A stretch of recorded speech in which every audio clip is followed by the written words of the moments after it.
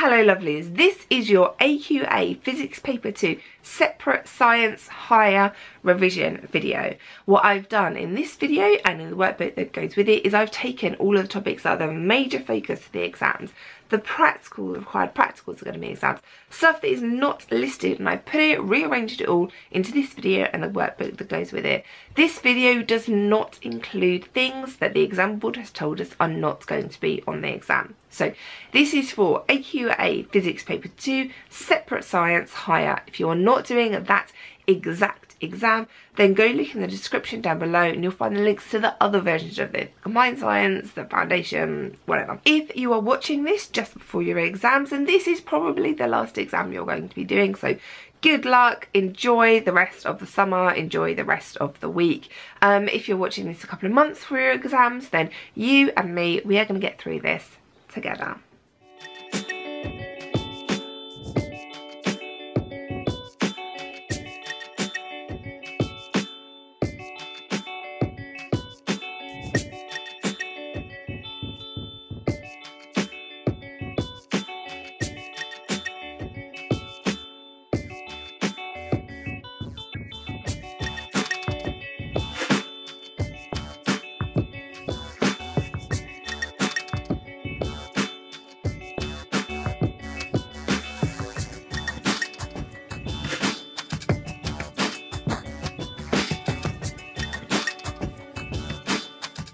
Scalar quantity is going to be just a number. A vector quantity is going to be a number and a direction. For example, distance is scalar, but displacement is vector because it's distance in a direction. Mass is scalar, but weight, which is your mass upon the earth, is vector. Speed is scalar, but velocity, which is speed in a certain direction, is vector. Acceleration and force are both vector, and momentum is also vector. If we're looking for the resultant force, we need to find the difference between them. For example, here we have 10 plus 10 newtons minus 5 newtons is going to give us plus 5 newtons, which is going to be 5 newtons in that direction. For the second one, we have plus 2 newtons minus plus 2 newtons, giving us 0 newtons as overall resultant force, so there is going to be no movement. Your weight is not the same as your mass because your weight is equal to your mass times gravity. Your weight is measured in newtons, your mass is measured in kilograms, and gravity is measured in newtons per kilogram. So your mass will never change, but your weight will change depending on the planet, but depending on gravity. Which is why when they went to the moon, they were basically weightless so they could jump around. Another W here, work equals force times distance. Work is measured in joules, force is measured in newtons, and distance is measured in meters. So that one joule is equal to one newton meter. When you exert a force on an object, it is going to be squashed or stretched or deformed in some way. Here I've done an experiment for you. This is commonly known as Hooke's law. What I've done is taken a spring. This is the bottom of the spring, kept marked in every single photo, and I've added weights onto the bottom of it. You can see that the length of the spring is getting longer the more weights are added onto the bottom bottom of it. We can plot what happens in Hooke's law because it is our direct line until we get to a certain point and this point is the limits of proportionality. Before that it is going to stretch. So the more force we add on as we increase force, the extension is going to be increased. After we get to the limit of proportionality, no matter how much force you add on, it is not going to stretch anymore. Is potentially going to snap. Force equals the spring constant times extension. Force is measured in newtons, extension is measured in meters, and the spring constant is measured in newtons per meter. Kinetic energy is equal to half times mass times velocity squared. Kinetic energy is measured in joules, mass is measured in kilograms, velocity is measured in meters per second, and with this, the squared is just around the meters per second, so you have to do that bit first. A fluid can either be a liquid or a gas. Liquids are incompressible. The examples like that word. Whereas gases are compressible. Pressure equals force over area. The units for pressure are pascals. For force, it is newtons. And for area, it is meters squared. I have seen exam questions which use newtons per meter squared for pressure. If they do that in the exam question, give your answer in the same format. I've also seen exam questions where they've done newtons per centimetre squared.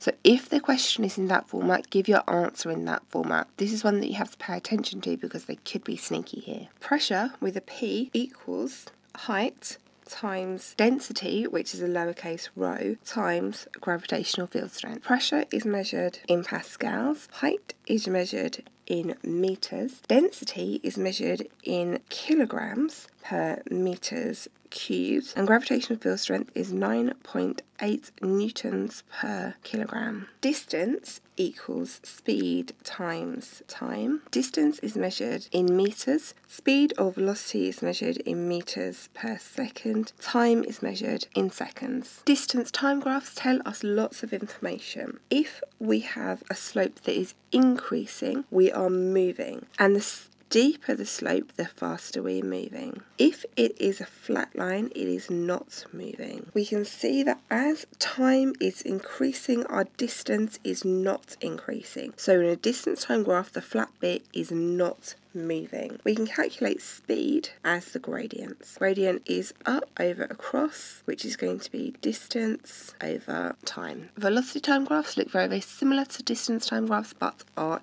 difference. For example, at our flat bit here, it is now moving, but it is going at a steady speed. We can see that when they are increasing, they are accelerating. So we now know that acceleration is equal to the gradients. That's up over cross or velocity over time. If we want to work out the distance travelled, that's the area under the graph. For this section here, it is a triangle. So to work that out, it's going to be half times base times height. For this section here, that is a rectangle, so that is going to be base times height. This section in the middle here is a bit more complicated because we have a triangle, a rectangle, and a triangle. So that is base times height plus half times base times height. And the height is the height of the triangle there. Acceleration is equal to the change in velocity over time. We can work out the change in velocity by taking the final velocity and minusing the initial velocity, and the time taken by taking the final time and minusing the initial time. Acceleration is in meters per second squared, velocity is in meters per second, and time is in seconds. Final velocity squared minus initial velocity squared is equal to 2 times acceleration times distance. Velocity, final and initial, is measured in meters per second acceleration is in meters per second squared, and distance is in meters. When you are falling when something is falling, terminal velocity is going to be reached when all forces are balanced. A velocity time graph for this would be very fast acceleration as the object initially started to fall. As the object started to balance out, that would slow, and when they reach terminal velocity, there would be no further increase in speed. When you are free falling under gravity, your speed is going to be um, 9 9.8 meters per second, which is the same as the value of gravity, which is 9.8 newtons per kilogram. Momentum is mass times velocity. Mass is measured in kilograms, velocity is measured in meters per second, and the momentum is measured in kilogram with a space meters per second. I know there's a temptation to put another line in there, but that would be wrong. The law of conservation of momentum says that momentum is always conserved, which in calculations means your momentum before is going to equal your momentum afterwards. So if you have two objects colliding, their momentum together before is equal to the colliding combined object afterwards. A transverse wave goes up and down from one point to another point, and this doesn't matter whether it's from the top to the bottom, from the middle to the middle, we have the wavelength. The amplitude is measured from the middle to the top or from the middle to the bottom. The direction of movement for this is up and down. This could also be the direction of oscillation. And the direction of energy transfer is sideways. Here we have a longitudinal wave where we have areas of compression and areas of rarefaction. We can measure the wavelength in this from one point to another point. The direction of movement is side to side and so is the direction of energy. Frequency is the number of waves per second. So if we look at this block here as a second in time, something that will have a low frequency, we are not going to see many peaks in one second. But something that had a high frequency, we would see lots of peaks or lots of waves within one second. You'll notice that for the high frequency one,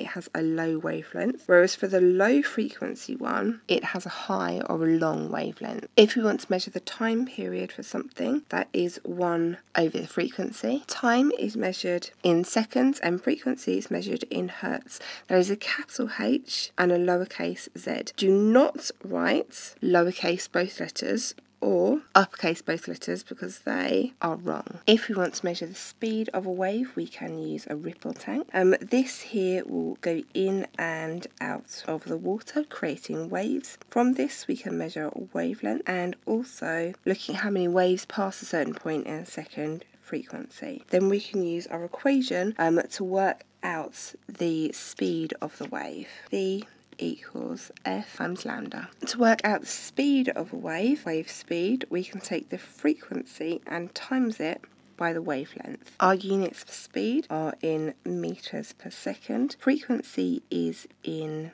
hertz, capital H, lowercase z, and wavelength is in meters. A sound wave is a longitudinal wave. It vibrates the air particles. And your eardrum in here will pick up the vibration of the air particles and turn it into sound which your brain can interpret. The range of human hearing is 20 hertz to 20 kilohertz. We can use echo or ultrasound to determine distance, and we can do that because speed equals distance over time. So if we know the speed of the wave, we can measure the time taken and we can calculate the distance. So um, a vessel exploring the sea can send down um, an ultrasound and measure the time it takes to come back. And the time it takes to come back will be shorter or longer depending on the distance. Now the really, really important thing to um, note here is that it is there and back again. So the time is double um, what it would be because the time it takes to get there and back is twice just the time it takes to get there. So if you have an echo or an ultrasound um, calculation, you need to find distance, you need to think logically about the time calculation that you're using. Ultrasounds can also be used for medical imaging. Here is my massive bump, here was my massive baby, and you can see the hard parts the jaw, the skull, the legs, they are going to reflect the ultrasound much more than the liquid or the soft tissue parts. When an earthquake occurs, we can use the resulting waves to give us information about the structure of the Earth. Earth. P waves are primary waves. They are longitudinal. They can travel through solids and liquids, which means they can travel all the way through the Earth. So if an earthquake happens over here, the P waves are going to go all the way through, including through the solid core. S waves are secondary waves. They are transverse waves, and they can only go through solids. So they can't go through liquids. And because of these two different types of waves and how they're detected on the opposite side of the Earth, um, this tells us information about the structure of the Earth. Our solar system is a beautiful, um, varied, and fascinating thing starting with the Sun all the way over here, we move through Mercury, Venus, Earth, Mars, and our moons. The asteroid belts with some dwarf planets in, I'll come back to those in a second. Jupiter, Saturn, Uranus, Neptune, and poor old Pluto down here, which isn't a planet anymore. It's just a dwarf planet. To help you remember the order, we have my very easy method, just beads, up naming, and then it used to be planets at the end, but Pluto isn't a planet anymore. So it's now my very easy method just speeds up naming. If you guys have any other um, ways that you remember the order of the planets or anything else, pop that in the comments below because I'm sure loads of other people would love to see what you come up with. So poor old Pluto. Here used to be a planet, it is now a dwarf planet. Um, I did a separate video on why Pluto is now a dwarf planet, but our dwarf planets are here, here, here and here. I'm not going to try and pronounce some of those names because I'm very, very sure I will get it wrong. And um, we have an asteroid belt in between Mars and Jupiter.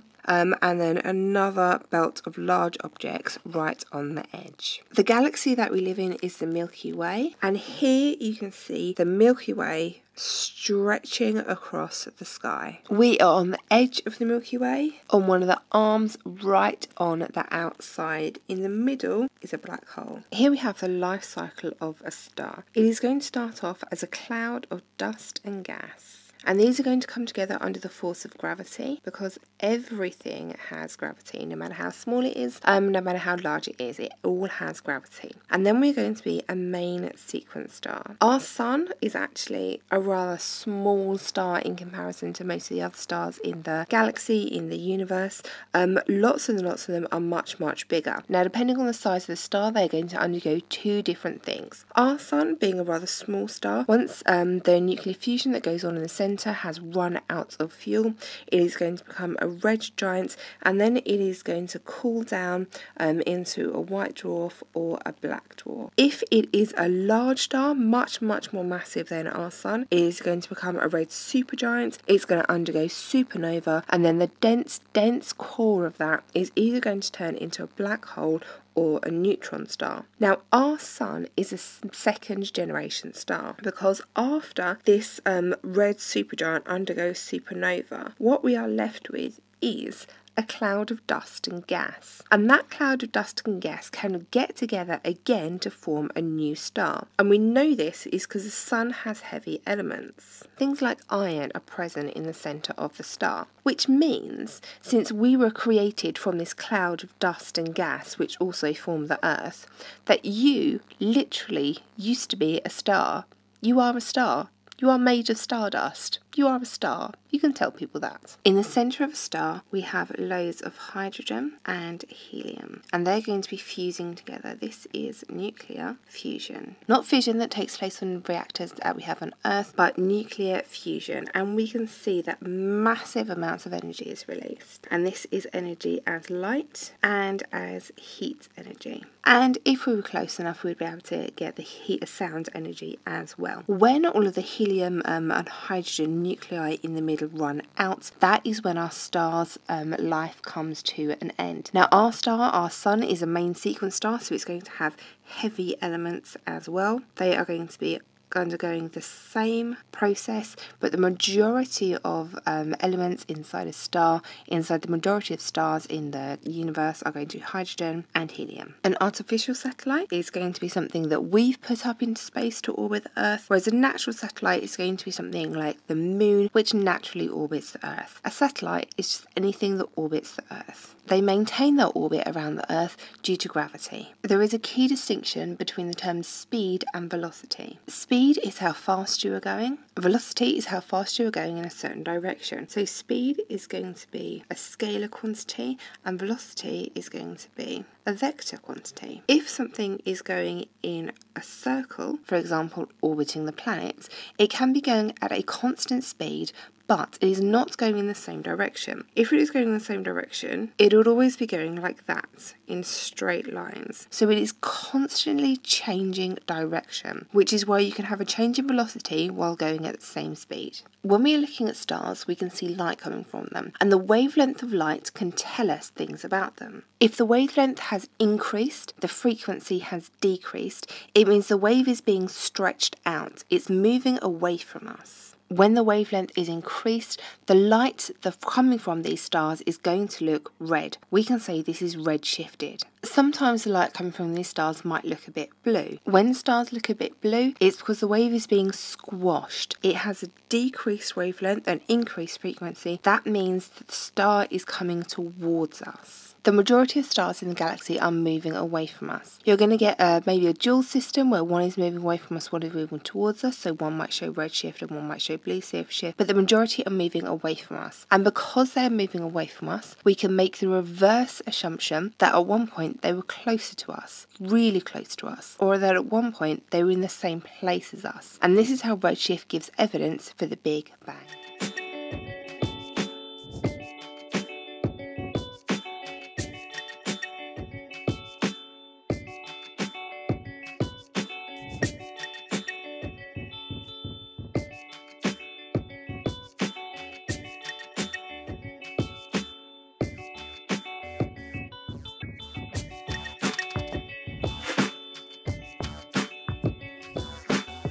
Wave is reflected, it is going to come in, meet the boundary, and then be reflected. Our angle of incidence is always going to be equal to our angle of reflection. So we can always say that I equals R. Your normal line is in the middle here. It is a dashed line and it is drawn at 90 degrees to the mirror or the surface that the wave is being reflected off. If we have a sound wave instead of a light wave that is being reflected, we are going to get an echo. My ray box with my Perspex blocks, I've drawn around three positions for the Perspex block and now I'm going to draw the ray diagram.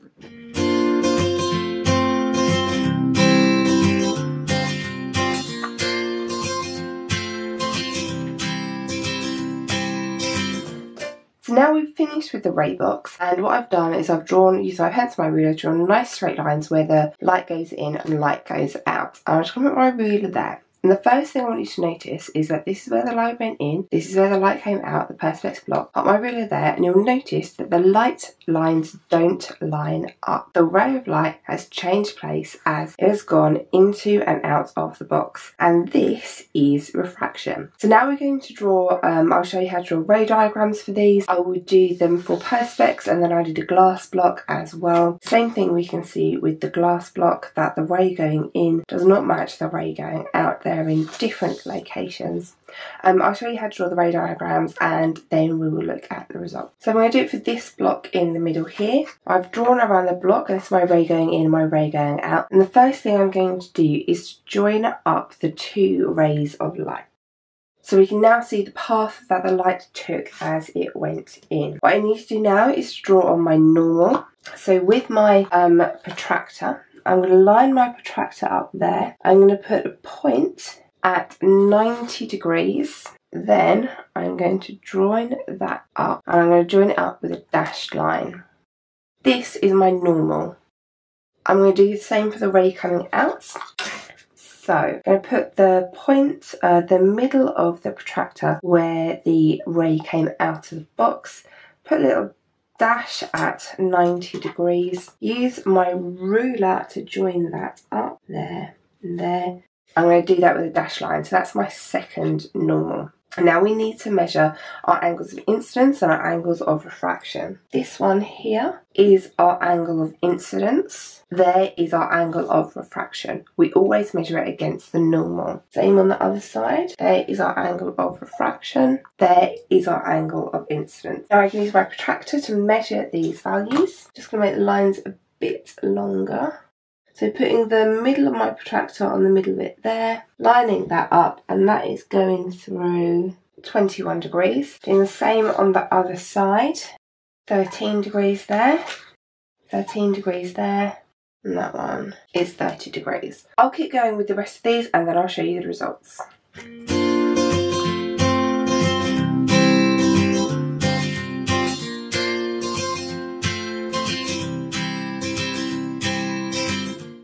Results from my experiment and you can see they are not perfect. Here we have angle of incidence 30 with 13, 19 and 20 as the angle of refraction. This is okay, it was a real experiment. Real life is not perfect. We'll be able to see the relationship better when we plot it on a graph.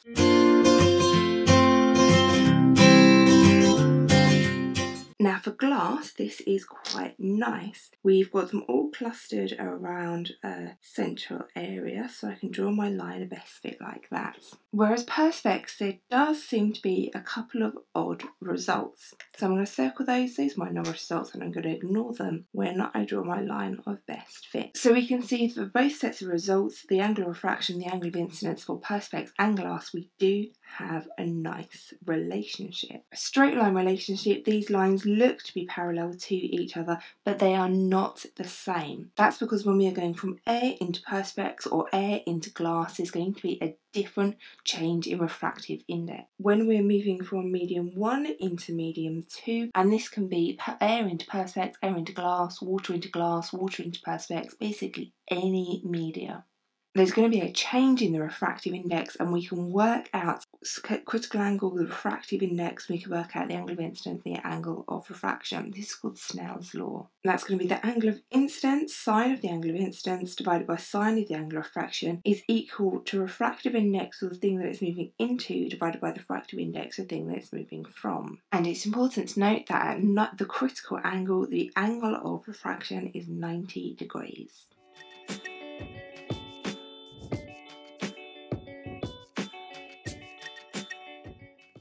Here we have a Newton's cradle, which really elegantly demonstrates a number of physics principles. First of all, inertia. An object that is in motion will remain in motion unless acted on by an outside force. An object at rest will remain in rest unless acted on by an outside force. So those balls in the middle are only going to move if something hits them. And those balls on the outside are only going to stop if something stops them. It demonstrates the conservation of energy, where the balls only slow down as they lose energy to other things. In this case, you can't hear it, but it's losing um, energy to sound and it's losing energy to a bit of friction within the air. This will keep going for as long as there is energy within the system. And it also demonstrates Newton's third law, where for every action there is an equal and opposite reaction. And we can see this as the balls keep hitting each other. Inertia is where an object at rest will remain at rest unless acted upon by a force, and an object in motion will remain in motion unless acted on by an outside force. You can put this into action if you are um, driving along and you have your seatbelt on, the car brakes. You would not brake as well unless you were acted on by a force, that force being your seatbelt. Conservation of energy. Energy is never created or destroyed, it is only turned into something else. Here it has been turned into sound and a little bit of heat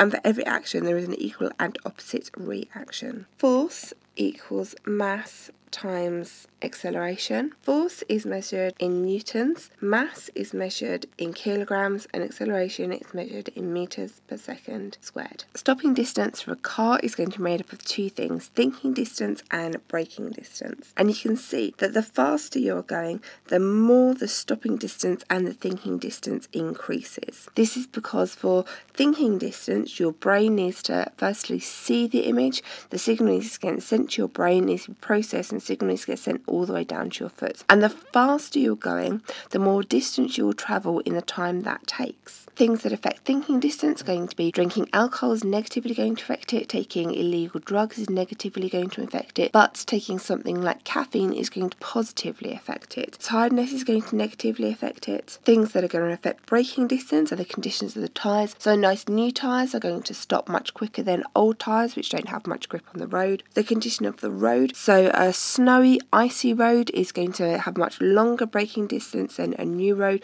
or road that has lots of um, grit on it is also going to have a long braking distance and the weight of the car. A heavy, heavy car is going to take much longer to stop. There are a large number of features in a car designed to make it safer. First of all, seat belts, uh, baby seats. Believe it or not, when I was brought home in the car, I was literally just put in the car. Uh, crumple zones at the front, airbags are a few of the examples.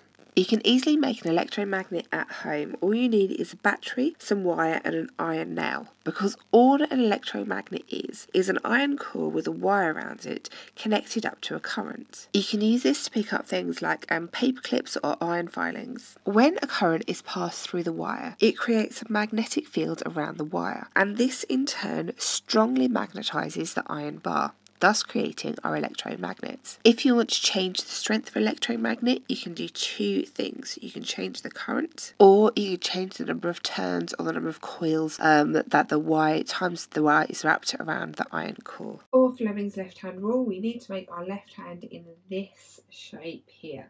So finger pointing out, thumb up, finger out. And your first finger is your magnetic field.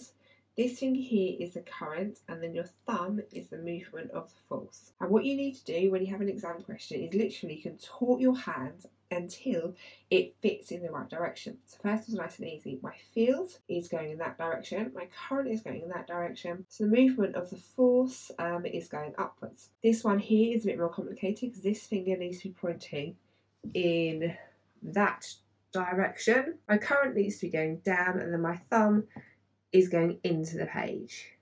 We can change the size of the force by changing the current, by changing the strength of the magnet, or by changing the angle between the wire and the magnetic field lines. The greatest force is when the wire is perpendicular with magnetic field lines, and the force is going to be zero if the wire and the field lines are parallel. Magnetic flux density is the amount of magnetic flux in a certain area, and the equation that we use for this is force equals magnetic flux density times current times length. You'll notice really annoyingly that this is an uppercase I and a lowercase l. Our units for this, for force, are newtons. For magnetic flux density, they are Tesla. For current, it is amps, and for length, that is meters. While this is called a simple electric motor, there's actually quite a lot of physics going on here, and for this, we really need to use our Fleming's left hand rule. So, our magnetic field is going from north to south like this. Our current is moving actually in two different directions. On this side it's moving in this direction and on the other side it's moving in this direction. So what we are going to have is that when the um, wire is moving past the south bit of the magnet, the force is going to be going down and when it's moving past the north face of the magnet, the force is going to be going up. And because one side is being pushed down the other side is being pushed up, it is going to turn around. A moving coil loudspeaker works by making a diaphragm attached to a coil vibrate. When we have a current passing through the coil, the force that is generated via the motor effect makes the coil move. Every time the current changes direction, the force reverses direction. So the coil is going to be going back and forwards, making the diaphragm go back and forward, generating sound waves. A moving coil microphone works with the same principle but in the opposite direction. Sound causes the diaphragm to vibrate. The diaphragm is attached to the coil. The vibration of the diaphragm moves the coil, which is going to cause the coil to move backwards and forwards past the magnet. The generator effect is just an extension of Fleming's left hand rule. When we have a wire and we move it through a magnetic field, we are going to be generating a current. In a transformer, we have a soft iron core. We have a wire which is going to be coiling around, and you notice there are a different number of coils here. We are going to be looking at varying the number of coils so that we vary the um, voltage that goes into and comes out of our transformer. If we have a step up transformer, the secondary voltage is going to be greater than the primary voltage. So the voltage coming out is going to be greater than the voltage going in. If we have a step down transformer, the secondary voltage is going to be less than the primary voltage. So the um, voltage coming out is going to be less than the voltage going in. When we are looking at transformers calculations, we have voltage in the primary coil divided by voltage in the secondary coil equals the number of turns in the primary coil divided by the number of turns in the secondary coil. Our units for this are going to be for voltage, that is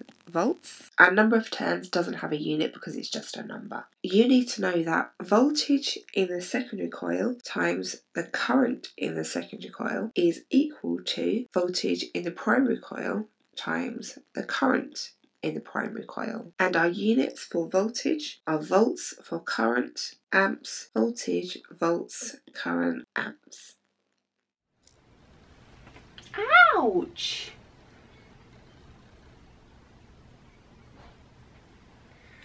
This is why in some videos I have unexplained scratches.